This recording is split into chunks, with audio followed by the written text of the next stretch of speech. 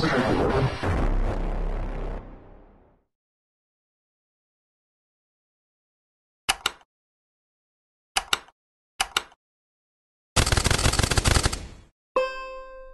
a tutti, bentornati nel canale YouTube di Indie Vault, io sono Bruno Barbera e eh, in questo video abbiamo un ospite speciale, ehm, Paolo Pedercini di Molla Industria. Ciao Paolo. Ciao, ciao a tutti. Paolo eh, ci ha concesso un'intervista in occasione del rilascio del suo, della sua ultima produzione, dell'ultima produzione di Molla Industria che si chiama The Best Amendment. Diciamo brevemente che cos'è è un uh, videogioco uh, che diciamo um, fa un po' di satira sulla National Rifle Association, che è uh, l'associazione appunto americana dei mi pare dei possessori di armi da fuoco, dico male? Sì, e, um, è anche una, una, lobby molto importante. Esatto, che um, ricorderete ultimamente è stata anche un po' uh, al centro della discussione sui videogiochi perché in seguito alla strage di Sandy Hook, um, um, quella in cui un, uno spostato, uno, un pazzo è andato e ha massacrato uh, bambini e insegnanti in una scuola americana, non mi ricordo dove era di preciso, scusa? È nel Connecticut. Nel Connecticut. Nord, mm, mm, nord-est. Esatto, e uh, la reazione è stata naturalmente da una parte di voler limitare la circolazione delle armi e dall'altra appunto c'è stata uh, la NRA che uh, non soltanto ehm, era contraria, è contraria alla limitazione del possesso della circolazione delle armi, ma addirittura ha proposto di uh, istituire una guardia armata uh, a difesa delle scuole, secondo la logica che uh, mh, è impossibile uh, difendere um, le scuole se non attraverso uh, appunto l'istituzione di una guardia armata che uh, faccia da controllo, faccia da deterrente verso um, contro gli, gli esploit di questa gente che appunto un giorno prende, va e ammazza tutti. E tra l'altro. non, so, uh, non solo guardie armate de, mh, mm, hanno proposto anche armare gli insegnanti e addestrarli alle armi da fuoco. Uh-huh. Sì, infatti um, mi pare tu stesso avevi linkato um, il comunicato ufficiale, forse l'ho trovato io da altri siti, dove dicevano che uh, pensate a robe tipo pensate se uh, qualcuno vi entra in casa Uh, non vorresti avere un'arma sotto al cuscino o qualcosa del genere. Comunque la mettevano, la, loro la mettono su questo piano che uh, se qualcuno ti attacca, la cosa migliore, da, uh, la cosa migliore che mh, puoi fare è di avere tu stesso un'arma per contrattaccare. Mh, non fanno un discorso a priori, insomma, di limitare la circolazione delle armi. E mh, tra l'altro c'è stata anche questa cosa un po' tra virgolette ironica, nel senso che uh, sempre l'NR ha, ha, ha, accusato i videogiochi violenti facendo un discorso del tipo ah voi p- p- pensate alle armi invece i nostri ragazzi sono vittima dell'influenza dei videogiochi vo- violenti Ciò nonostante, uh, subito dopo ha, commercializzato un proprio gioco uh, in cui per iOS, in cui appunto bisognava sparare, l'obiettivo era di sparare in un poligono di tiro, se non mi sbaglio, qualcosa del genere. Sì. Quindi... No, il gioco del, dell'NRA, a dire la verità, ce ne sono vari. Mm-hmm. E, uh, però comunque ne è stato commercializzato anche uno proprio subito dopo la, la strage di Sandy Hook, subito dopo questa dichiarazione, mi sbaglio? Sì, um, devo dire che molti mi hanno chiesto e, e ho letto par- molti commentatori uh, riflettere su questa, su questa um, apparente assurdità de, prima, prima, del dire oh c'è questa industria fantasma che, se, che, che vende pornografia di violenza eh, nell'industria dei videogiochi e subito dopo, una settimana dopo, rilasciare questo, questo videogioco.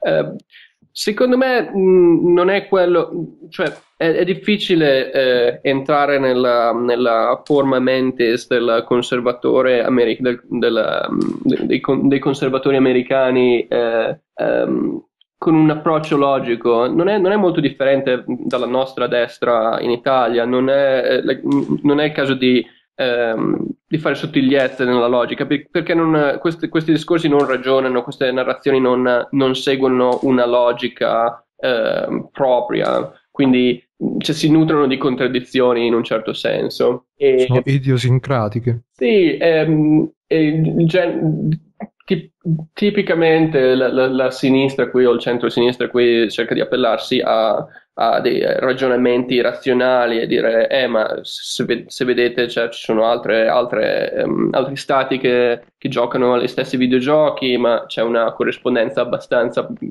di diretta fra il numero di armi in circolazione e la violenza ehm, per conto attraverso, attraverso, armi da fuoco, quindi il, cioè, la correlazione non avviene attraverso i videogiochi, ma eh, eh, avviene attraverso la proliferazione di armi da fuoco. No? Beh, quello è un ragionamento logico che secondo me non, non funziona nel, nel capire diciamo, la mente del conservatore tipico, specialmente qua negli Stati Uniti. Eh, qui quello che succede è che eh, le armi e il possesso di armi è una cosa che diciamo risiede più nel profondo della, dell'identità Uh, di, questa, di, di, questa, di, questo Stato, di questa nazione. Eh, la, il possesso di armi è quello che divide sostanzialmente i, um, so, i progressisti froci sinistroidi da eh, i, veri americani, quelli che si vedono come i veri depositari della tradizione americana, della frontiera, della conquista e in un certo senso anche degli, degli stati eh, sconfitti dalla guerra civile, c'è ancora quella, un, una sorta di rancore che scorre profondo. Quindi quando si parla di ehm, definizione dell'identità, di, nazio- di, quel, eh, di, una specie di subnazionalismo, eh, la logica non funziona, non, non, è, non li convinci per, per, mezzo della logica, quindi con, eh, forse anche per quello che ho voluto fare un gioco che non fosse semplicemente eh, contro, contro, le armi da fuoco o, o direttamente, non so, eh, o, diciamo chiaramente contro le armi da fuoco, perché è un gioco che si, si basa sullo sparare e che non, non ha timore di presentare lo sparare come qualcosa di, um, di divertente. Sì, eh, appunto ci agganciamo adesso uh, appunto a uh, The Best Amendment, che è appunto il gioco che è stato creato da Molle Industria. Mm, come funziona questo gioco? In pratica è un, un arena shooter uh, a quattro dimensioni, come lo hai definito, giusto? Sì, più o meno. non ha quattro dimensioni, però diciamo Ce n'è, ce n'è due a malapena. Quatt- a quattro dimensioni perché comunque entra in ballo anche la dimensione temporale perché uh, si controlla questo personaggio a forma di cilindro bianco che non lo so è un riferimento a certe sette, certe associazioni americane razziste o è così, casuale? Um, semi casuale. Uh-huh. E si controlla questo personaggio che deve raccogliere delle stelle all'interno dell'area di gioco, un'area di gioco rotonda, e uh, deve al contempo uh, ammazzare i suoi nemici che sono uguali a lui soltanto con, uh, di colore nero che a loro volta eh, rilasciano delle stelle. Diciamo che c'è una stella iniziale che viene eh, rilasciata liberamente nella, nell'area di gioco e poi tutte le altre bisogna raccoglierle uccidendo i nemici, bisogna raccoglierne un certo numero entro il limite di tempo per passare al livello successivo. Dov'è il twist del gioco? Nel fatto che uh, ad ogni livello i nemici che si affrontano sono in realtà delle copie del giocatore e dei suoi movimenti nei livelli precedenti, quindi una meccanica che magari è stata vista anche in uh, diversi platform, uh, in Braid stesso mi pare che ci fosse qualcosa del genere in alcuni dei livelli, o sbaglio, in cui si creavano copie del giocatore che si muovevano, diciamo, indifferita, tra virgolette, rispetto al giocatore sì, stesso? Ce ne sono, ce ne sono, ce ne sono varie. Eh, non mi ricordo, non, non, ho presente Braid perché non, mai, non, ho mai raggiunto i, livelli avanzati, però sono, ce ne sono varie. Eh, di solito... Um, eh, collabori con te stesso. Esatto. Sono... Anche mi pare un altro che si chiamava The Company of Myself o qualcosa del genere. Non conosco quello, ma è, una, è un meccanismo abbastanza relativamente semplice da implementare, semplicemente salvi le posizioni e, le, e li riproduci, però è, ce, n'è uno che si chiama Cursor,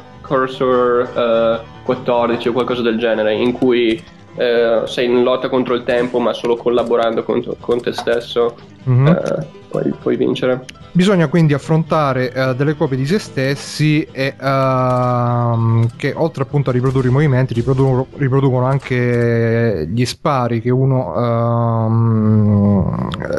quando uno fa fuoco appunto nei, nel passato, tra virgolette, nei video precedenti per cui alla fine se non si pianificano bene le proprie azioni ci si ritrova ben presto in uh, situazioni abbastanza complicate, piogge di proiettili e uh, niente, così poi uh, tra, un livello, mm, tra, un livello, tra una partita e l'altra ci sono degli intermezzi che un po' prendono in giro diciamo la le varie uh, indicazioni e suggerimenti che vengono dati nei, um, nei videogiochi mainstream c'è una schermata in cui uh, mh, c'è scritto ah se ti senti nervoso fai una pausa e poi un'altra in cui c'è una macchia di Rorschach e viene detto cosa ci vedi dentro e uno può mm, dire che cosa ci vede dentro così mm, da misurare tra virgolette proprio, la propria propensione verso, verso, la violenza. E un'altra ancora um, viene uh,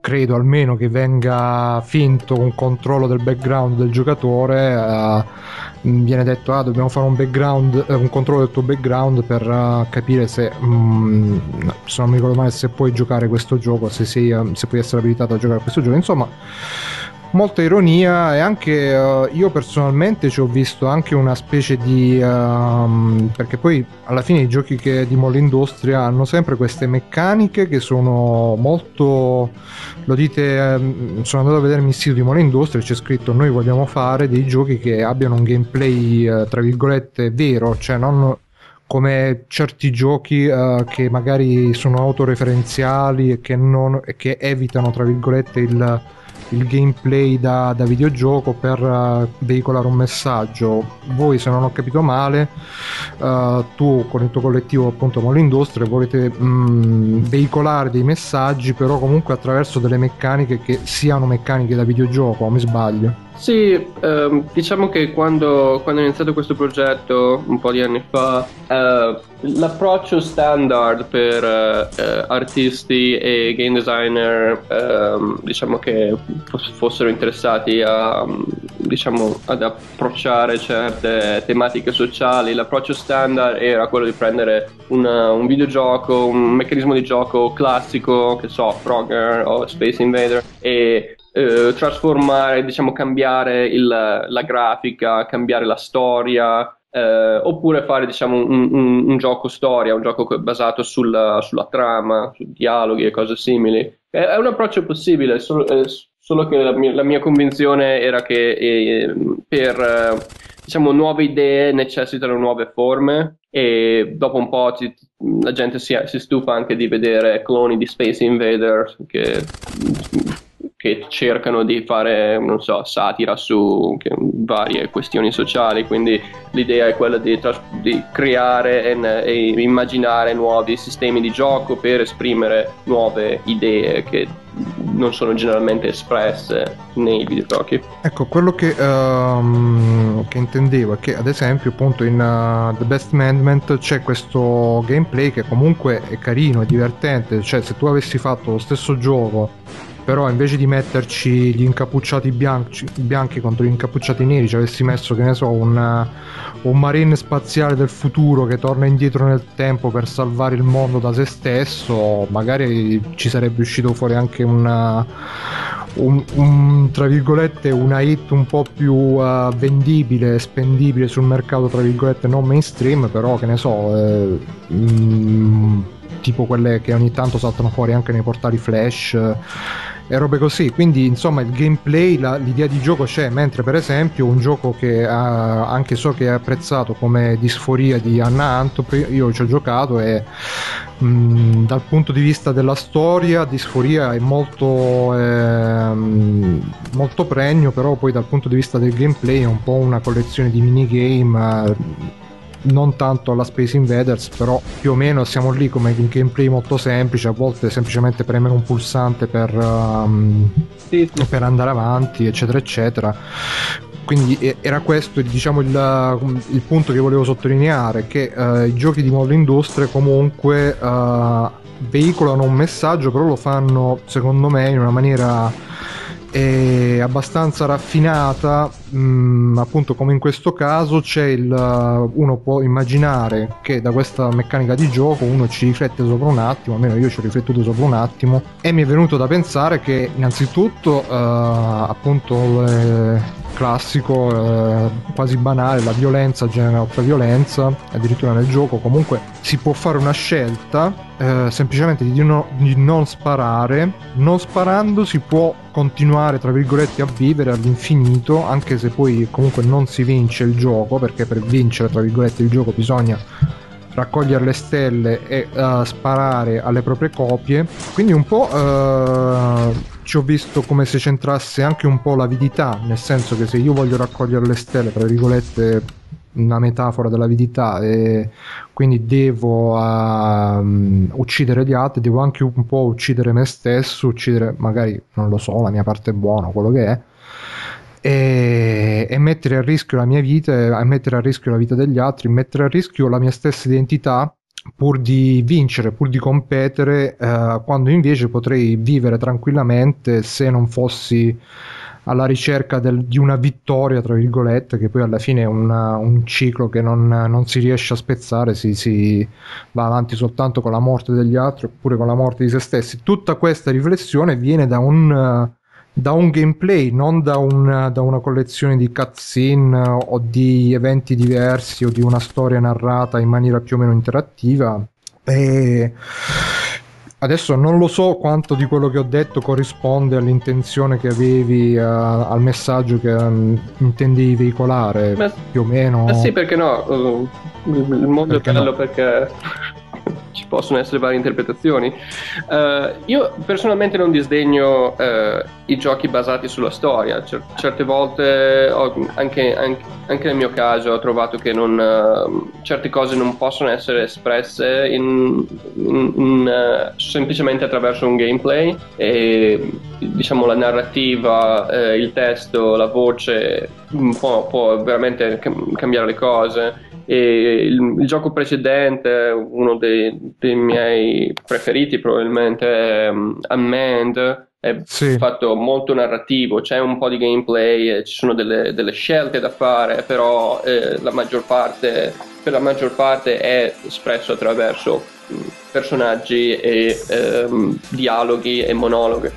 Guarda, se posso inserirmi un secondo, io a Mend l'ho trovato molto... Mm, mi ha colpito molto il fatto che, un po' come poi si è visto anche nel mainstream, tra virgolette, in uh, The Walking Dead, um, ha questo sistema di scelte multiple che però Uh, vanno a influire uh, sul, mm, sulle azioni tra virgolette arcade che uno deve compiere. Cioè mh, mm, eh, non so, poi ripeto, magari è un'interpretazione solo mia, però c'è questo gioco che è diviso a metà, parte destra e parte sinistra. Nella parte sinistra eh, bisogna fare delle scelte, eh, mandare avanti dei dialoghi, mentre nella parte di destra bisogna eh, compiere delle azioni, si parte no, dal farsi la barba, poi bisogna controllare un un drone e al tempo stesso bisogna portare avanti dei discorsi con, con se stessi durante, mentre ci si fa la barba, con la collega mentre si controlla il drone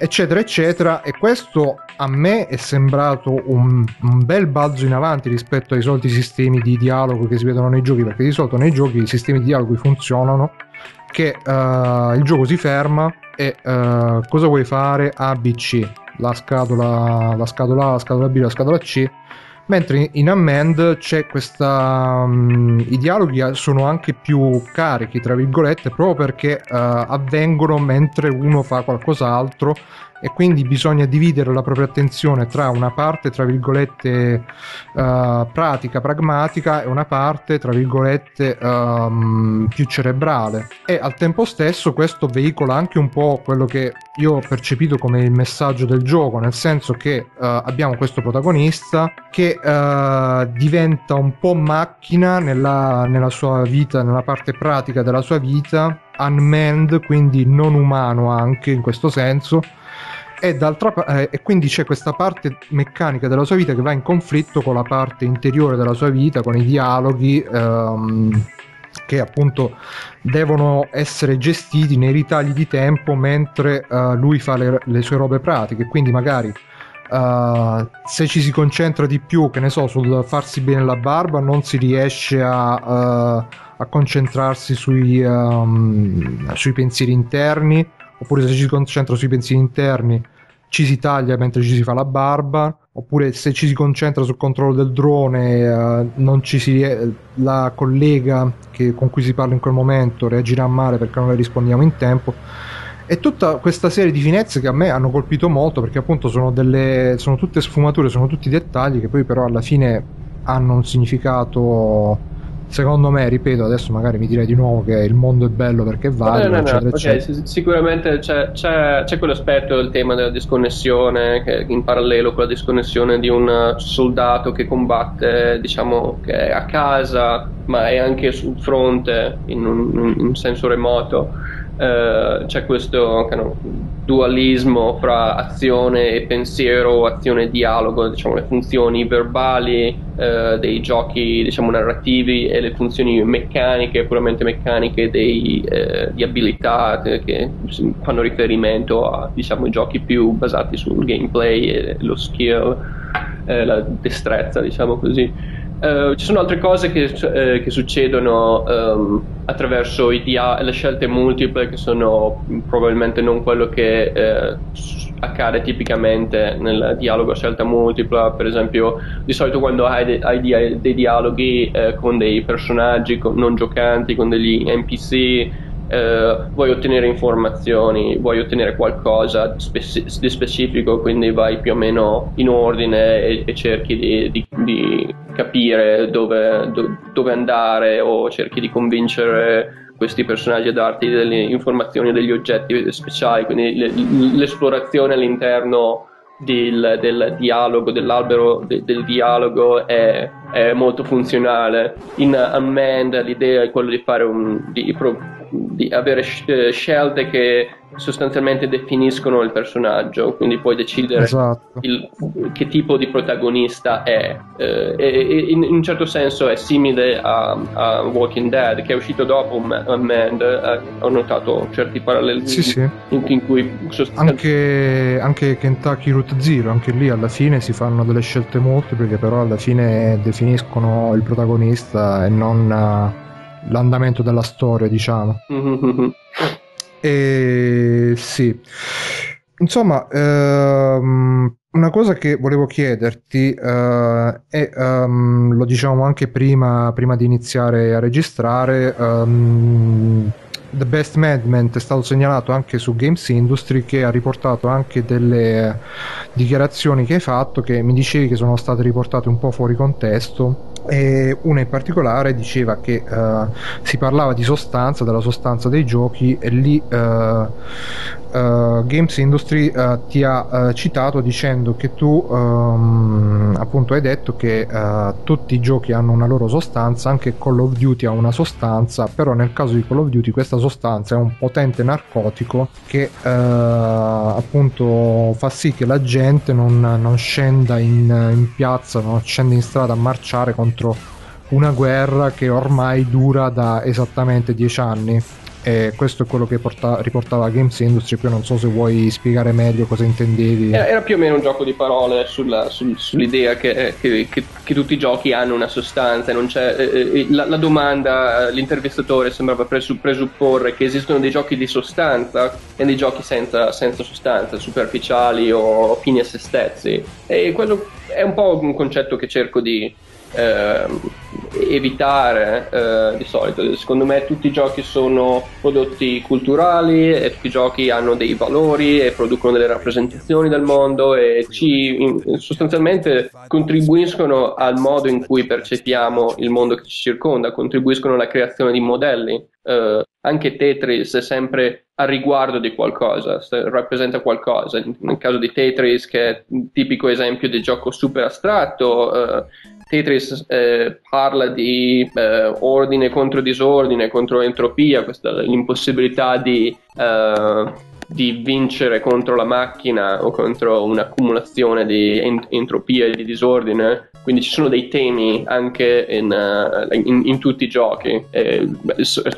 Tutto quello che dobbiamo fare è essere semplicemente eh, essere consapevoli di questi temi. Quindi eh, il, quando eh, il giorno dell'intervista era, era, l'anniversario dei dieci anni eh, dell'attacco in Iraq, quindi esattamente dieci anni dopo che quelle bombe sono iniziate a cadere, e quindi mm-hmm. se, secondo me eh, secondo me esiste una sostanza, cioè, diciamo il feticismo per gli apparati militari, il feticismo per le armi, anche se non producono direttamente violenza, comunque eh, contribuiscono al rinforzo di una serie di valori aggressione, militarismo che sono onnipresenti nella nostra società.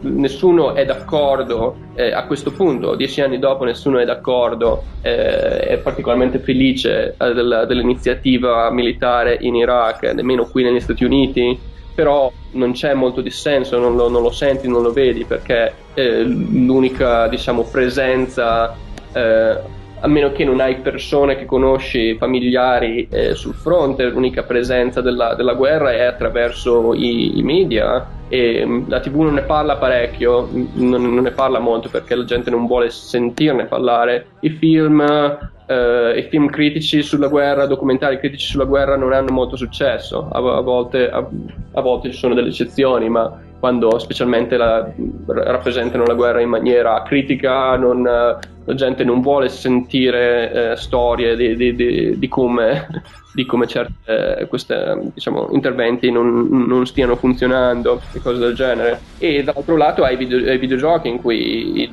giochi diciamo, sul tema della, dei conflitti più o meno contemporanei, più o meno moderni, sono sono fra i più venduti ancora, anche se gli FPS non sono più probabilmente il genere dominante come erano uh, un po' di anni fa.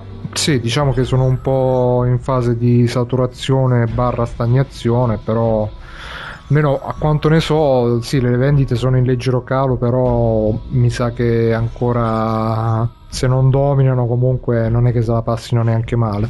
E, eh, no, io il fatto del questa mh, mm, a me è rimasta un po' impresso questa definizione di narcotico. Io l'ho presa un po' dal punto di vista che mh, mm, giochi come Call of Duty, appunto, uh, producono uh, sostanzialmente due effetti. O uh, inducono le nuove generazioni giovani ad arruolarsi o comunque a vedere eh, appunto inducono le persone ad arruolarsi oppure le inducono a considerare la guerra come un qualcosa di se non giusto comunque normale accettabile da accettare o, o al limite un male necessario. E quindi uh, in questo senso narcotizzano le coscienze per cui la gente non va, non va a protestare perché più o meno veicolano quest'idea che uh, eh, la guerra è un qualcosa di inevitabile, eh, di, di, di, normale e va accettato. Non so se, mh, mm, se eh, può essere un'interpretazione corretta di... Secondo me sì, eh,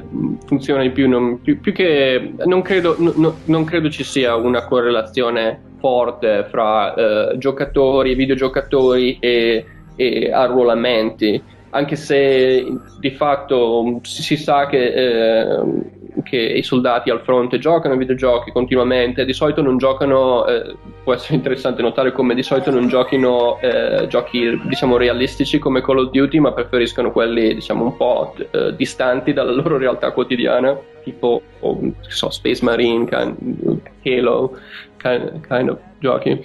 Um, e sì, secondo me funziona più come diciamo normalizzazione eh, e come eh, diciamo produrre una, un'immagine, una rappresentazione che è in un certo senso opposta alla realtà quotidiana della guerra. La realtà quotidiana della guerra, a quanto, a quanto pare, non è particolarmente violenta, non è, eh, non è eccitante, non è adrenalinica, è più che altro noiosa e più che altro molto stressante perché la realtà quotidiana del, del soldato al fronte in Afghanistan o Iraq sostanzialmente è muoversi da un punto all'altro e sperare di non, essere, di non saltare in aria per, per, via delle bombe nascoste sotto, sotto l'asfalto e cose del genere. Secondo me c'è anche una, una forte. Sarei, sarei, perfettamente d'accordo con uh, una proliferazione di giochi di guerra che in un certo senso glorificano la guerra, ma anche la rappresentano eh, in maniera mh, mm, diciamo realistica, realistica non, vis- non, in senso visivo, eh, in senso sonoro, ma realistica in senso di come la, me- com- la meccanica della guerra, in un certo senso.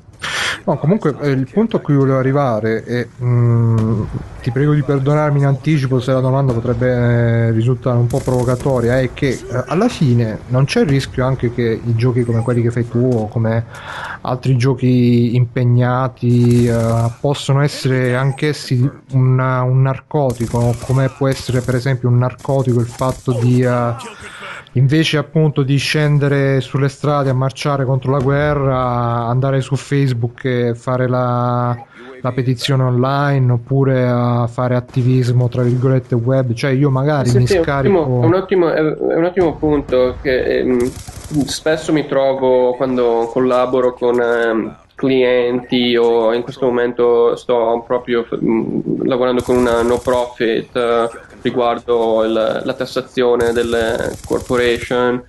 Uh, un punto che cerco di, di portare avanti è che eh, non mi piace quando i videogiochi diciamo politici o critici eh, fanno, diciamo, rappresentano mh, il conflitto in un, in, in un, senso catartico. Secondo me i, i giochi di, di, questo tipo dovrebbero um, dovrebbero creare domande, creare diciamo, dilemmi morali, ma non provvedere eh, le risposte, non fornire le risposte belle e pronte, e soprattutto non dovrebbero dare l'idea, eh, non dovrebbe creare l'azione di trasformazione all'interno, eh, all'interno del gioco, non dovrebbero simulare il cambiamento all'interno del gioco o me- magari forse accennare a un, una possibile altra via, ma Mm, non so, sostanzialmente surrogare quello che solamente un'azione politica o una, un impegno sociale può effettivamente creare. Ed è, è, questo il motivo per cui in molti giochi, tipo quello del McDonald's o, o Oligarchy, eh, non, non, sei l'attivista contro il McDonald's, non, non sei eh, l'ambientalista, ma sei diciamo i cattivi, sei la parte che dovrebbe essere criticata, non perché voglio voglio che la gente diciamo, si identifichi o, o, capisca quali sono i problemi del, del, del, del um, governare una multinazionale, ma perché secondo me certe cose possono essere eh, viste più chiaramente dalla prospettiva eh, del, di una prospettiva di potere, una prospettiva diciamo privilegiata. E se, se provi a vedere, raramente i miei giochi eh, diciamo simulano eh, o rappresentano eh, le cose giuste da fare. In qualche, in qualche istanza, in qualche esempio, sì, è, accaduto, ma cerco di evitare per, per, esattamente per quel problema. Non voglio dare l'idea che, oh, bene, ho salvato il mondo virtuale e, e, ora sono a posto. Ho capito. Senti, un'altra domanda un po' correlata. Se, uh, e sempre mi perdonerai se è un po' provocatoria, se um, un giorno, magari tra, tra un milione di anni, vivessimo in una società utopistica dove non ci siano eh, mega corporazioni che sfruttano eh, i poveri, dove non ci fossero problemi di discriminazione, eccetera. Insomma, una società perfetta. Se vivessimo in quella, una società così, tu che tipo di giochi faresti? Oh, ehm, lo, lo, dico sempre, farei giochi, farei giochi astratti, farei giochi tipo Uh, cosa? Tipo giochi di cactus, farei giochi sparatutto probabilmente, farei um, poi giochi spara tutto tipo alla Call of Duty? No, no, no, no, cose, eh, sai, eh, diciamo farei giochi eh, completamente astratti, cercherei di, di um, tro- diciamo qual è, qual è il, il, il, il, gameplay meno rappresentativo, cioè, come, mm, non, non, mi, non, mi, vengono molti esempi, ma non so se sei presente il Ellis o Ellis, eh, un gioco per iPhone. Eh, no, purtroppo no, ma magari una roba tipo Hundreds. Eh, Hundreds o uh, Hexagon, quello mm-hmm. che farei, non necessariamente basati sullo skill, ma diciamo non rappresentativi e mh, mm, in- interessanti da vedere, diciamo cose che ehm, diciamo con, eh, incentrate sui, sui, sui vis- su vi- visuali astratte. Quella cosa che farei in un mondo perfetto. Ehm una domanda così, una curiosità. Mm, come nasce la tua passione per i videogiochi? Come, mm, e perché poi hai scelto di, di, di proseguire su questa strada di, invece che con altre forme di espressione, forme d'arte? Ma ehm, in verità facevo un po' di tutto, più o meno all'inizio anni 2000 mh, avevo un gruppo musicale, facevo fumetti, eh, facevo delle fanzine e soprattutto facevo ehm, siti per ehm, diciamo, partiti ed organizzazioni di movimento e a un certo punto stavo, stavo anche studiando design e quindi stavo studiando diciamo, intera- in, in web design e in interazione eh, ehm, diciamo, contenuti interattivi. E sì, come è iniziata, sostanzialmente ho fatto un gioco eh, all'interno di una campagna referendaria e, e, mi sono trovato bene in un certo senso. Ho detto, ah, beh, non, sa- non, sarebbe male se ci fossero più, più giochi di questo genere. Ha ottenuto una buona risposta in un certo senso e quindi ho deciso di espandere il progetto mh, mm, facendo, creando un, un, po' più di esempi che erano i primi tre o quattro giochi che, che ho rilasciato sotto il nome di Moll Industria. Ho fatto qualche gioco prima in eh, ehm, cos'era il um, quando ero in, in, un istituto tecnico ho fatto alcuni giochi con il vecchio Click and Play che è diciamo l'antenato di Game sì. Mm-hmm. e anche quelli avevano un certo, in un certo senso erano abbastanza simili a quello che faccio, che faccio ora erano, non erano, non erano politici in un certo senso ma erano diciamo riguardo le politiche della classe eh, che, in cui ero quindi facevano diciamo prendevano in giro i miei professori e cose del genere ma poi come mai eh, appunto hai scelto tra appunto hai provato tante strade ma poi sei, ti sei fermato sui videogiochi. Come mai? Cioè cosa, cosa hanno in più se hanno qualcosa in più rispetto al resto? O di diverso diciamo? Sì eh, guarda ti dirò eh, sostanzialmente penso che eh, non ci siano, almeno tuttora non ci, siano, non, non ci sia molta gente eh, disposta a fare quello che sto facendo. Ci sono o- ottimi eh, fumetti, eh, creatori di fumetti completamente sconosciuti che vendono 10 copie e, e sono capolavori e perché, perché ero appunto in, in fumetti, eh, abbastanza appassionato di fumetti. Consigliacene uno così ci ampliamo un po'. Dieci anni fa cioè, lo ero. Ah, okay. so, ho, ho, perso un po' eh, traccia. Eh, ma sì, tipo, tipo Joe Sacco, ci sono ottimi eh, fumetti che più o meno ehm, coprono eh, simili tematiche, eh, ci sono ottimi gruppi musicali di cui non, gente non sente parlare, molto saturato, ma mm, sem- semplicemente ho, ho su, sono arrivato alla conclusione che non, ci, che, che non, ci, fossero molte voci alternative all'interno del, dei videogiochi, nel mondo dei videogiochi, quindi finché, finché, quello che faccio non diventa la normalità e finché non ci sono altre, molte altre persone che fanno esattamente quello che faccio, che, quello che faccio o possibilmente meglio, eh, penso che continuerò. Mm-hmm.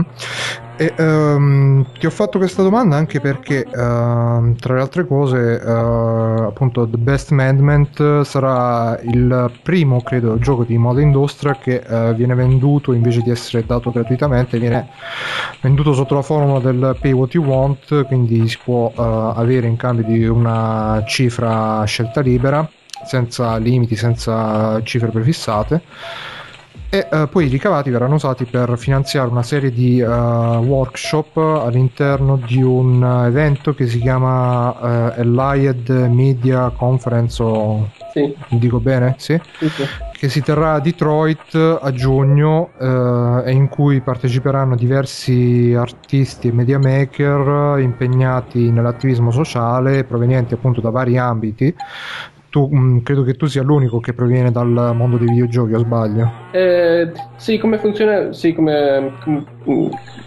ti com, com, posso confessare che eh, eh, The Best Man non, è, non era inteso, non, non, do, non, doveva essere un gioco, diciamo, importante. Lo sto spingendo eh, un po', un po', più insistentemente semplicemente perché è un modo per uh, raccogliere fondi per organizzare questa conferenza. Non è esattamente una conferenza, è una, diciamo una, una traccia, una, eh, una, sezione di questa conferenza dedicata ai videogiochi e quindi stiamo invitando altri eh, game maker ehm, impegnati, diciamo così, per insegnare dei workshop a attivisti e ehm, spesso sono... Ehm, eh, diciamo, eh, giovani, mh, adolescenti, eh, preadolescenti eh, da, da, di Detroit, in, specialmente in comunità eh, diciamo, marginalizzate e sostanzialmente insegniamo, in, insegniamo, a creare i loro videogiochi o, o, almeno pensare in termini di videogiochi e quello che possono fare per le loro cause, per le questioni sociali che eh, portano avanti. Quindi diciamo così, sì, non c'è, non c'è sponsor, è, più, diciamo, è, è ancora a, a, livello più base del, dei, dei, dei, degli sviluppatori indipendenti, diciamo nell'ambito DIY. Mm-hmm. Sono gli indipendenti degli indipendenti.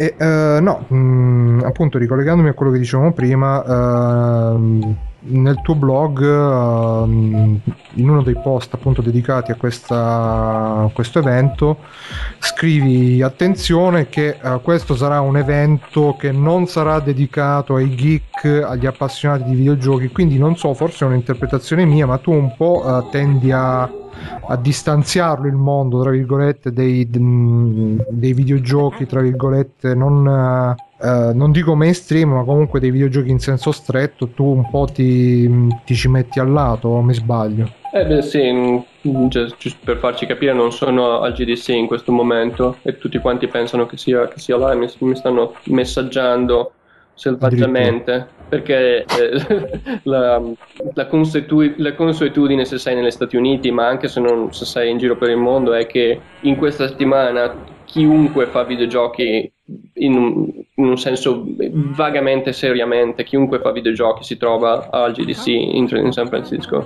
Uh-huh. e io ho altre cose da fare. Ho capito.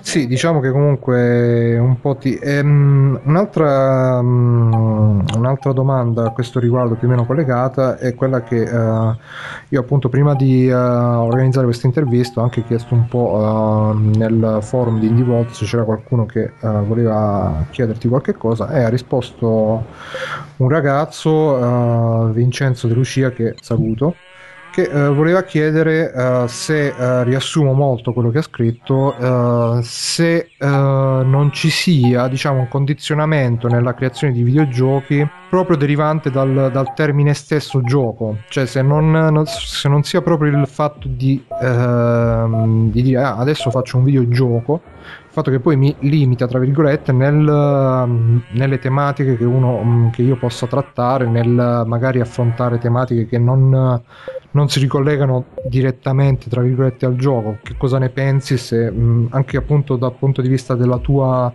del tuo metterti al lato, del tuo no, io sono io, poi quelli sono geek che giocano ai videogiochi, io uso questa forma, però non mi considero Uh, tra virgolette, poi ripeto, questa è un'interpretazione mia, però mh, mm, non mi considero tra virgolette parte di quell'ambiente lì. E appunto ti chiedeva se secondo te non, non, il fatto che ci sia questa cultura tra virgolette geek, appassionati di videogiochi, eccetera, eccetera, non, non derivi anche dal fatto poi del termine del, del considerarli dei giochi mh, mm, alla loro radice, nel loro DNA sono appunto dei giochi e basta, e quindi non possono arrivare molto oltre. Non so quale, quale possa essere la tua opinione a questo riguardo. Sì, ti dico, se, semanticamente eh, l'inglese ha un vantaggio che ci sono due parole eh, per due principali aspetti del gioco, c'è game e c'è play, che diciamo il giocare e il gioco. Um, e penso che più recentemente diciamo, i commentatori più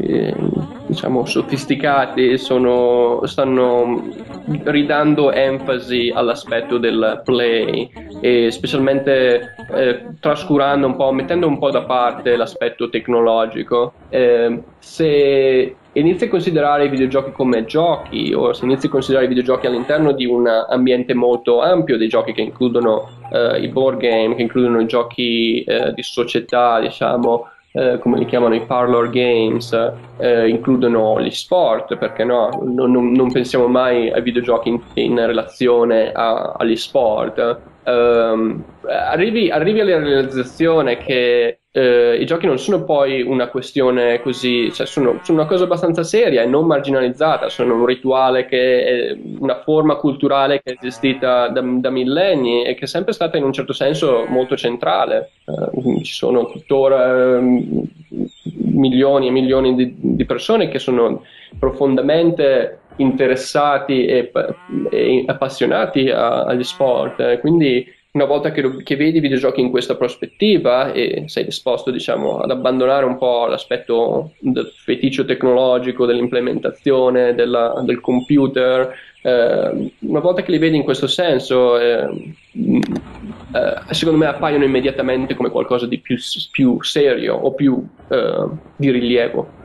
Quindi tu dici se noi uh, sfrondiamo l'esperienza da tutti i suoi orpelli ci troviamo di fronte ad un'essenza che può essere anche interessante o addirittura... Storicamente i videogiochi sono partiti come, come, un oggetto tecnologico, li vendevano nei negozi di giocattoli, li vendono tuttora, secondo, immagino, nei negozi di giocattoli. Beh, adesso si, diciamo si sono eh, consolidati in un settore suo, ma mm, non so, penso che il Nintendo eh, NES era, era, distribuito originariamente nei negozi di giocattoli, quindi l'aspetto diciamo non serio eh, e l'aspetto triviale del, del, del, videogioco è dovuto a questa origine diciamo eh, di, di, di, giocattolo tecnologico. Uh-huh.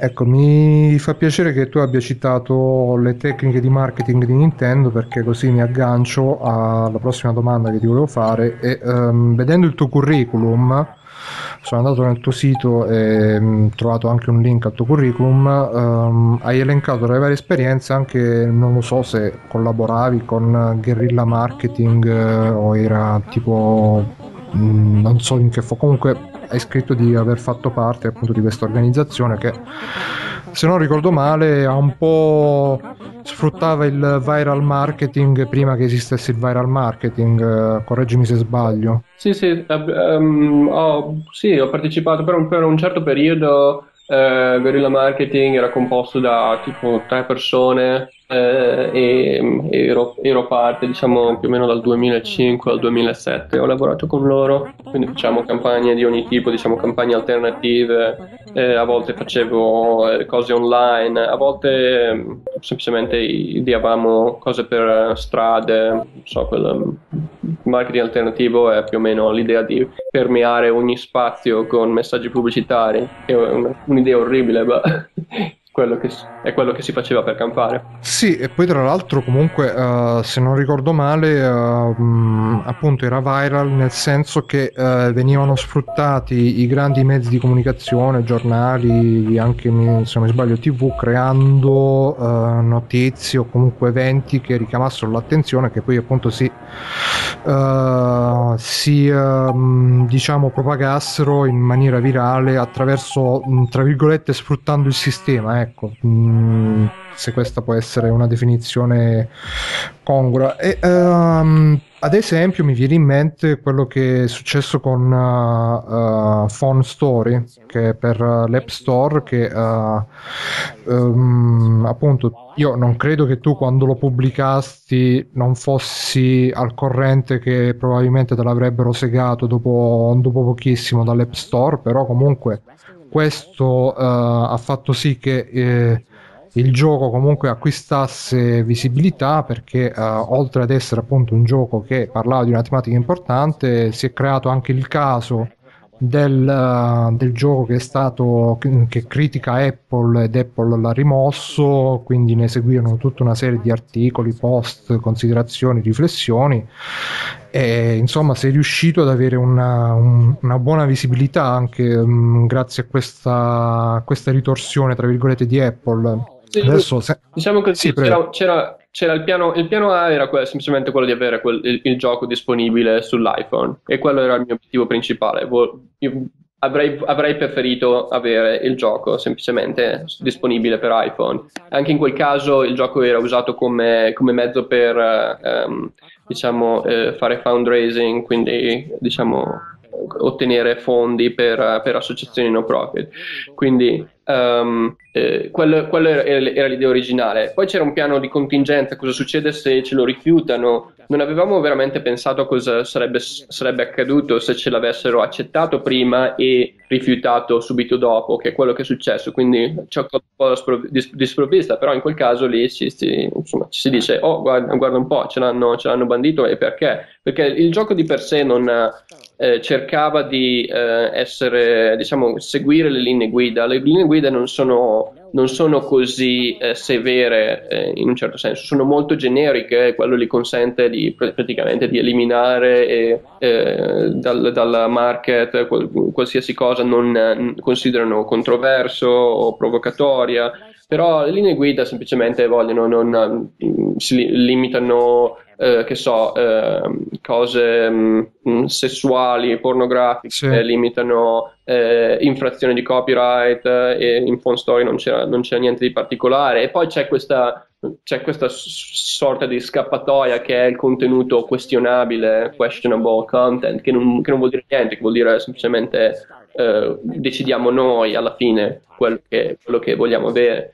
Quindi in un certo senso sì, ha ottenuto probabilmente più copertura mediatica di quella che avrebbe ottenuto eh, normalmente, diciamo come la, la, notizia sarebbe stata, oh c'è un videogioco eh, per iPhone che commenta, che critica l'iPhone, quello sarebbe stata la, la, la notizia. Ma eh, l'idea del, del cioè, il, il, il, ban dalla, dall'App Store, eh, sì, diciamo ha creato molto più, molto più um, clamore. Uh, per curiosità, il piano di contingenza, quello in cui non ve l'avessero accettato, qual era? È semplicemente di eh, pubblicarlo su Android e rendere pubblico il, il rifiuto. O, o, o, possibilmente cercare di riapplicare, cioè cercare di, di, farlo riammettere, magari facendo modifiche. Stavamo pensando varie, a varie idee. Comunque sia, eh, in un certo senso sì, ok, ho, ho, ricevuto più attenzione mediatica, ma in un altro senso eh, il problema è che eh, il discorso è cambiato dal messaggio, diciamo, dalle questioni originarie che è oh, che cosa c'è dietro il telefonino, quali sono eh, diciamo, gli impatti ambientali e sociali del, del, dell'elettronica di consumo è passato da quel discorso lì, che è quello del gioco vero e proprio, al discorso, oh, le politiche di Apple eh, e Apple eh, fa questo e Apple fa quello, che è comunque interessante, è una forma di censura di mercato che mm, è, è, è tuttora molto, eh, specialmente ce ne sono stati un paio di casi molto più recenti negli ultimi mesi, quindi è, un, è una questione importante, ma non è la questione su cui mi volevo fo- focalizzare. Quindi c'è un po' un elemento di, di fregatura quando ti costringono a una, una, mossa difensiva. Comunque il discorso è, eh, ritorna incentrato sulla, su, sul, sulle politiche della Apple mm-hmm. invece che eh, il, il, consumismo digitale. Sì, ehm, sì, che poi tra l'altro a proposito di consumismo digitale, così al volo ti chiedo se hai provato Little Inferno e che cosa ne pensavi, se l'hai provato. Sì, sì, è ottimo, eh, sono, sì, sono, eh, penso che sia finalista nella, nella, IGF. IGF, sono l'ho, l'ho, provato in anteprima, eccetera. Perché quello, ad esempio, è un gioco che uh, ha una, una sostanza, um, per riprendere il termine di prima, ha una sostanza molto pesante però uh, la, la, esplica forse in maniera un po' più uh, un po' più sottile rispetto a quello che di solito fanno i tuoi giochi e, mm, non lo so secondo te uh, è sottile? Mm, hai giocato fino alla fine? Sì, sì, no, l'ho giocato fino alla fine e appunto avendolo giocato fino alla fine, um, lì diciamo che mentre appunto nel, in uh, Unmanned oppure in uh, The Best Amendment uh, o negli altri giochi comunque di Mole Industria, um, per quanto non sia uh, spiattellata, tra virgolette, come dicevamo prima, la ritrovo una morale in... Um, cioè la, la, sento comunque la presenza di una morale. In Little Inferno invece uh, questa morale che comunque c'è ed è molto forte è molto pregna, però la, la, vedo un po' ancora più sullo sfondo, però proprio perché ancora più sullo sfondo la sento ancora più come un... Uh, come una presenza ancora più uh, non invadente però che, che, che, che, si sente, che si fa sentire un po' forse come dicevi tu prima di occupare tutti gli spazi senza però tra virgolette uh, senza che uno se ne accorga mm-hmm. e non so. Mm... Sì, è, è ottimo, è, una, è uno dei, dei mm, miei favoriti del, del 2012. Uh, eh, è,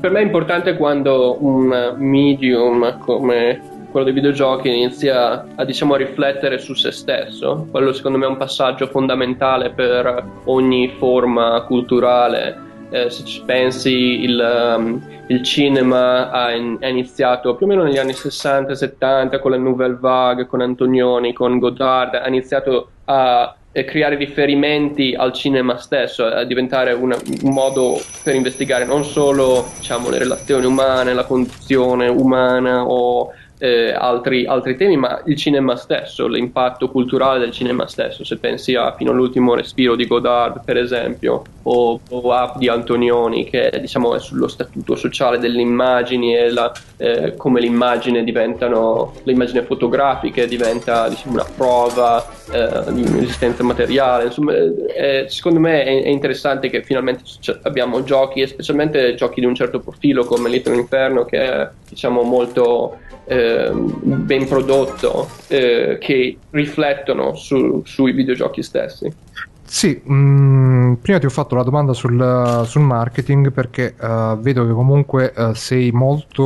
Uh, um, per quanto magari non, non, volontariamente a volte come nel caso di Phone Story comunque uh, sei riuscito a, a, ad acquisire una certa visibilità oltre che per uh, i, i, giochi che sono stati prodotti da Molo Industria anche per il modo in cui sono stati presentati con cui sono stati proposti eccetera eccetera e uh, mh, mm, volevo chiederti insomma se avevi qualche consiglio uh, da dare agli sviluppatori indie perché poi alla fine per gli sviluppatori indie c'è questo annoso problema che sì tutti quanti possono sviluppare videogiochi però uh, poi è difficile comunque emergere è difficile eh, anche se poi uno tu vabbè come l'industria non hai prospettive non hai obiettivi di guadagno economico però molti sviluppatori indie vorrebbero, diciamo, tra, tra virgolette, darsi pane anche facendo quello che, che, gli piace fare, però spesso si ritrovano nel, nel problema di non avere visibilità, di, di,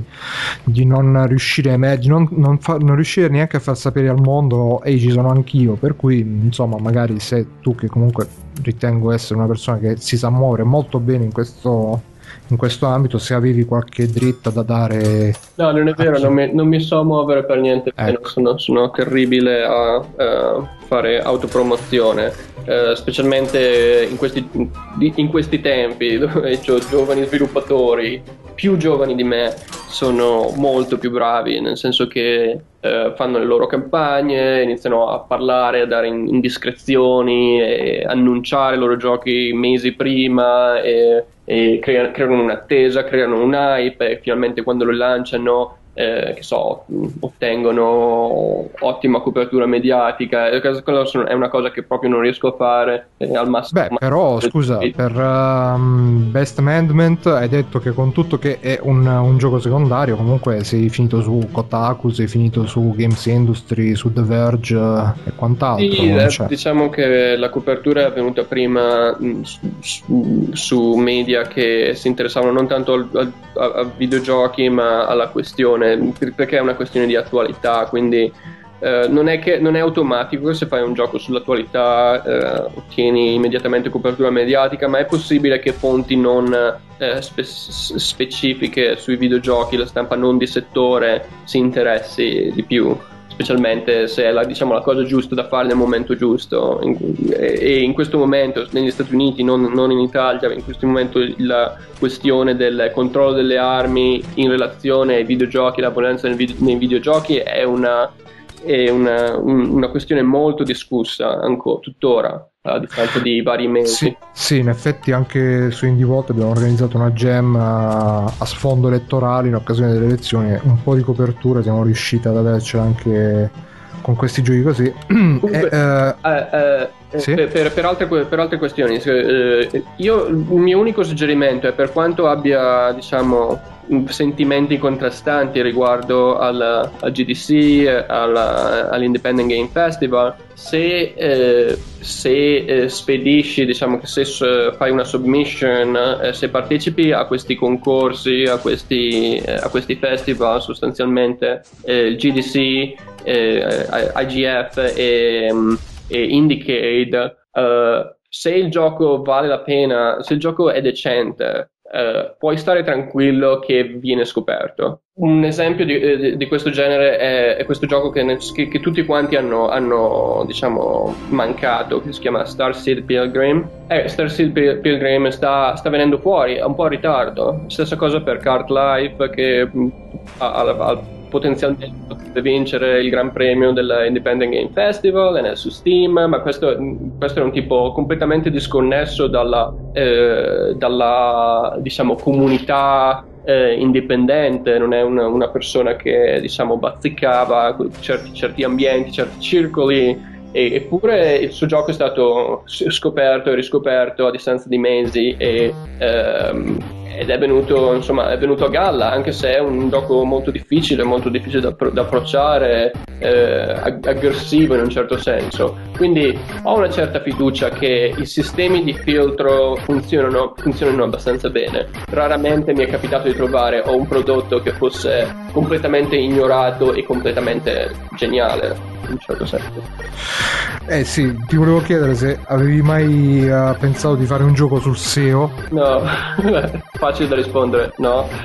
E se uh, che cosa ne pensavi di Uia? Se era una, una, piattaforma che ritenevi interessante anche per il tipo di giochi che fai tu oppure se preferisci comunque rimanere su PC o su iOS al massimo? È possibile penso che ci sia una, un, una, una discreta attenzione una, una, certa aspettativa su Uia quindi l'ho, l'ho provato non sembra male. Uh, i prototipi che sono in giro in questo momento non, non credo possano possono diciamo, essere apprezzati o presi sul serio dai giocatori seri perché um, ha un po' questa um, dà un po' il senso di, di una, un giocattolino made in China anche se tutto è, ah, ecco. made in China ma eh, dà anco, ancora un po', un po questa, questo aspetto diciamo di cosa buon mercato Uh, ma ho, penso, penso, che sia una, una, una, piattaforma interessante, mi piace il fatto che sia open source,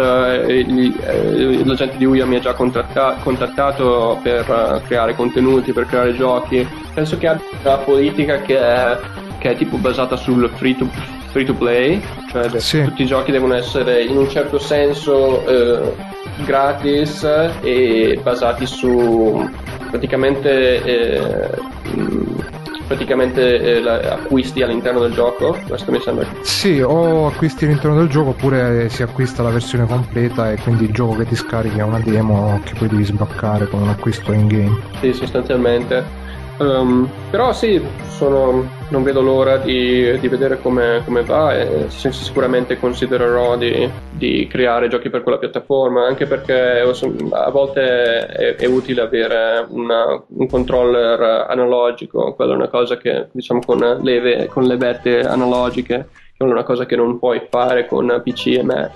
Mm-hmm. E niente, va bene, non ti trattengo oltre. E Grazie mille Paolo per la tua disponibilità, per il tuo tempo, è stata almeno per me una chiacchierata estremamente interessante.